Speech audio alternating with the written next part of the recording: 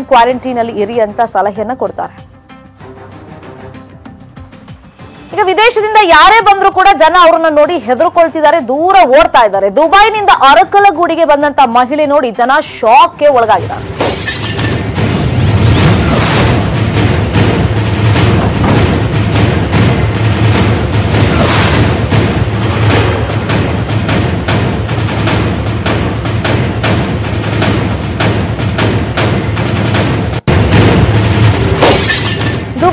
ಅರಕಲಗೂಡಿಗೆ ಬಂದಂತ ಮಹಿಳೆ ನೋಡಿ ಜನ ಶಾಕ್ ಒಳಗಾಗಿದ್ದಾರೆ. ಹಾಸನದ ಅರಕಲಗೂಡಿನಲ್ಲಿ ಮಹಿಳೆ ಕಾಣಿಸ್ಕೊಂಡಿದ್ದಾರೆ.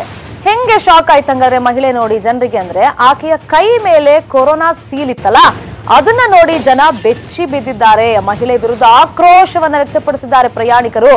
ಸರ್ಕಾರ ಆದೇಶ ಕೊಟ್ಟಿದೆ, ನೀವು ವಿದೇಶದಿಂದ ವಾಪಸ್ ಬಂದ್ರೆ ಆ ಸೀಲ್ ಹದಿನಾಲ್ಕು ದಿನ ಇರುತ್ತೆ. ನಿಮ್ಮ ಕೈ ಮೇಲೆ ನೀವು ಮನೆಯಿಂದ ಹೊರಗಡೆ ಹದಿನಾಲ್ಕು ದಿನ ಯಾವುದೇ ಕಾರಣಕ್ಕೂ ಬರಬಾರದು ಅಂತ. ಬಟ್ ಈಗ ಆದೇಶ ಕೊಟ್ಟರು ಕೂಡ ಸ್ವಲ್ಪ ದಿನ ಮನೆಯಲ್ಲಿ ಇರದೇಲೆ ಈ ರೀತಿ ಸಾರ್ವಜನಿಕ ಸ್ಥಳದಲ್ಲಿ ಓಡಾಡ್ತಿದಾರಲ್ಲ ಅದಕ್ಕೆ ಕ್ಲಾಸ್ ತಗೊಂಡಿದ್ದಾರೆ. ಬಂದೆ. ಕೊರೋನಾ ಎಮರ್ಜೆನ್ಸಿ ಇದೆ ನಿಷೇಧ ಇದೆ ಎಲ್ಲದಕ್ಕೂ ಕೂಡ.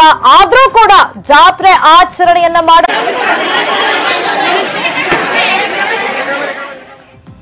ರಾಜ್ಯದ ಗಡಿಗಳಲ್ಲಿ ಕೊರೋನಾ ಕರಾಳ ಕರ್ನಾಟಕ ಸೇಫ್ ಗಡಿಗಳಲ್ಲಿ ಅಲರ್ಟ್ ಜನತಾ ಕರ್ಫ್ಯೂಗೆ ಜನರ ಸಿದ್ಧತೆ. बाईस मार्च रविवार को सुबह सात बजे से रात नौ बजे तक सभी देशवासियों को जनता कर्फ्यू का पालन करना है।